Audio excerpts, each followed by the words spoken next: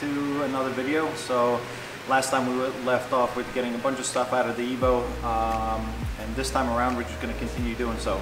Uh, we have a bunch of stuff to take out like the AC, uh, power steering, uh, we have the alternator to take out. So all that stuff is going to, uh, to come out. I'm also going to try to disconnect the axles um, and if we get to it, maybe uh, pull out the pin out of the, uh, the transfer case so we can disconnect it too. Um, in the meantime, for now, as you can see, I got a bunch of stuff to, um, to get rid of around the Evo. You know, the Evo just kind of sits in the corner of the shop, so I have to share a space for the project, which is okay. I'm glad to have a space to even work in, so um, we'll get rid of all this stuff, um, then jump right into it. Um, stay tuned and let's see how far we get today.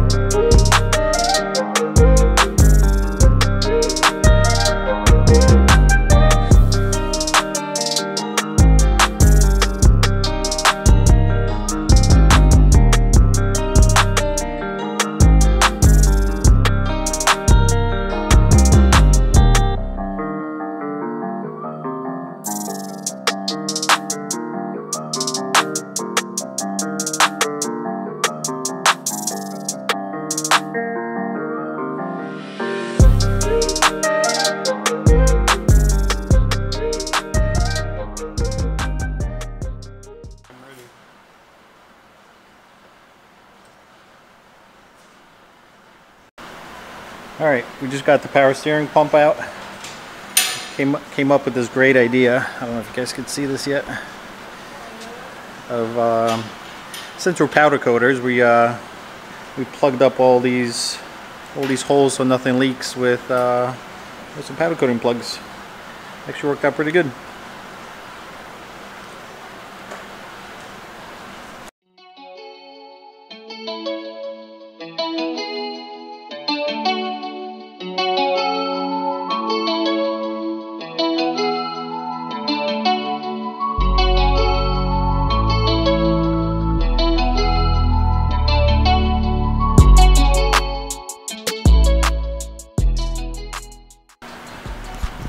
All right, made a little progress.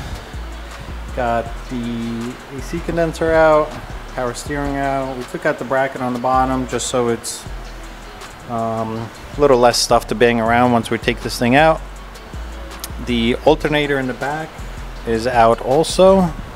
Um, so now what we're going to do is disconnect the heater core lines, the fuel line, the clutch line, um, and I think that's pretty much it up here. And then we'll move on to the axles, transfer case, and everything else. But progress is progress. This is all the stuff. So alternator, AC pump, um, and the hell is that? That is the power steering pump.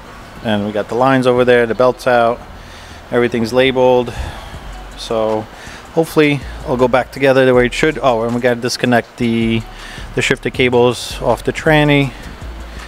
Um, and that's it. Pretty boys here. Mike's helping. So moving right along.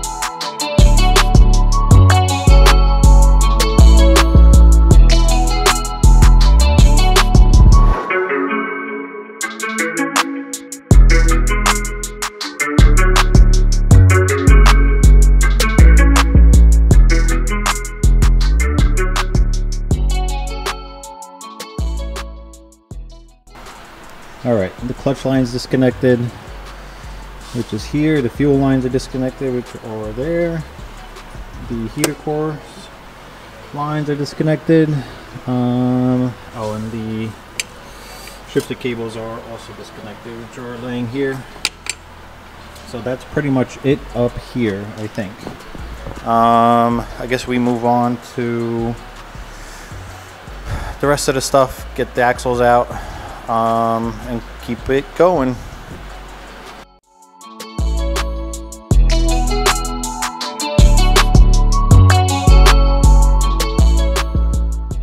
That's weird. That's really weird. That's so strange. That's probably the coolest shit I've ever seen.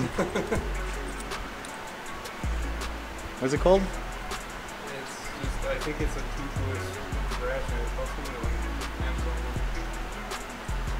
That they make a quarter. It's like 35 bucks for two. That's a good deal. All right.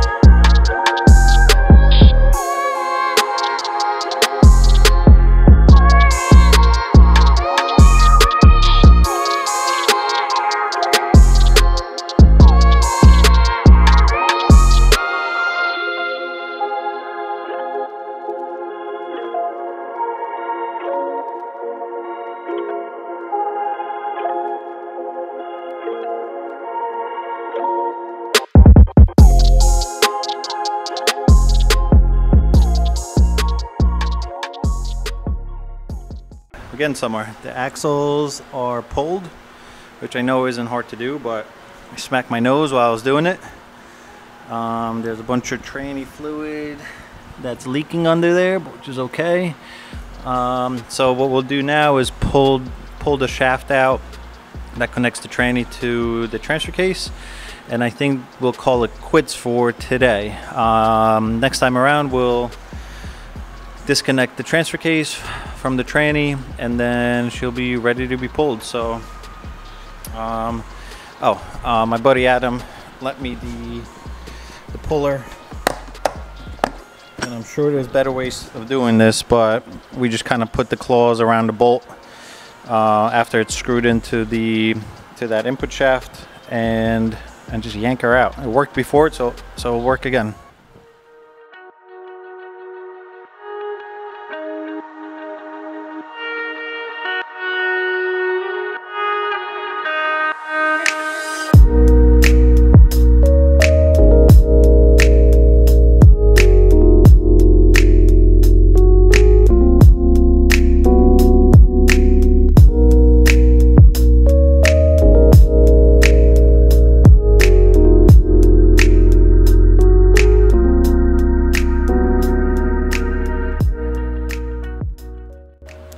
All right, turn down video.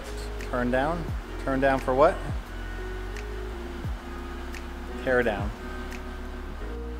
All right, turn. No. no. All right, tear down video number two is done. We'll catch you on the next one. Got a bunch of stuff done.